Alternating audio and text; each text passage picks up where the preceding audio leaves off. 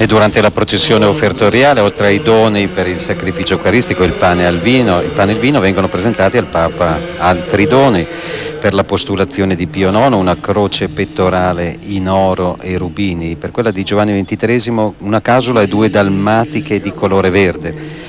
Per la postulazione di Tommaso Reggio due patene per concelebranti in argento dorato, per quella di Guillaume Joseph Chaminade un reliquiario in metallo dorato del nuovo beato, calice con smalti e un'icona in legno proveniente dall'Argentina.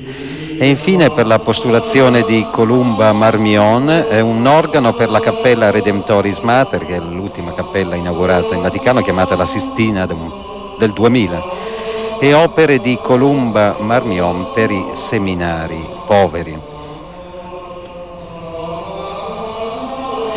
Dopo quello che ha detto Pio IX, Messori, i critici possono stare più tranquilli, sono più sereni, secondo lei?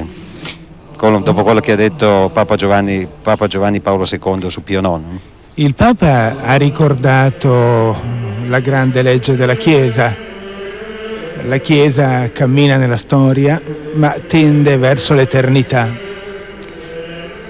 Non capiscono nulla eh, o poco o nulla coloro che volessero giudicare la Chiesa e i suoi uomini, i suoi beati, i suoi santi attraverso categorie come quelle politiche, come quelle sociologiche, che non sono le categorie proprie per giudicare una realtà che è essenzialmente religiosa.